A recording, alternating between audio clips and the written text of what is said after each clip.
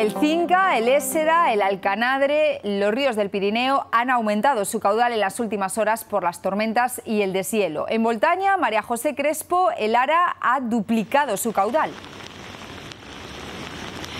Sí, aquí eh, en Voltaña ayer el río llevaba 50 metros cúbicos por segundo. Ahora, como veis, llueve con fuerza. También ha llovido toda la noche y el caudal ha llegado a superar los 120. Como decías, este no es el único río del Pirineo que ha aumentado el caudal.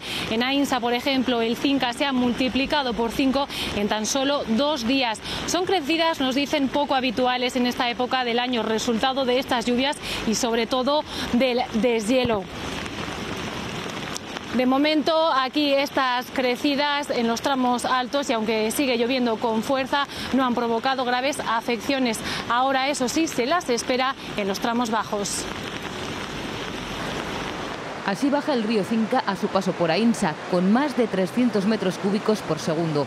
El caudal se ha triplicado en tan solo nueve horas, porque durante toda la noche, nos dicen, ha llovido con fuerza a consecuencia también de la nieve, pues ha llovido por arriba en la montaña. La verdad es que está espectacular, porque nos ha caído una noche de agua. Impresiona la imagen, impresiona mucho.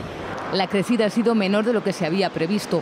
Desde el ayuntamiento incluso temían que se produjeran inundaciones, como ya ocurrió en el año 2013. Se llevó las piedras de, 100 metros de escollera y desde entonces pues estamos solicitando a Confederación pues que si esos 100 metros los pueden eh, arreglar pues como estaba antes para para evitar otra, otra gran crecida. También en Voltaña estaban preparados. Desde ayer el río Ara ha duplicado su caudal. En Voltaña han caído unos 40 litros aproximadamente de agua. Supongo que en las zonas altas del, del río habrá caído más y ahí, aquí veis el río como baja, pues bueno, baja, baja fuerte, pero bueno, tampoco nada nada para tener miedo. Una crecida que también ha llegado a los embalses. Fíjense en el del Grado, casi al 95% de su capacidad. Lleva una semana desembalsando para tener la capacidad de acoger las lluvias de este fin de semana. Está muy bonito, pero las compuertas abiertas es muy espectacular.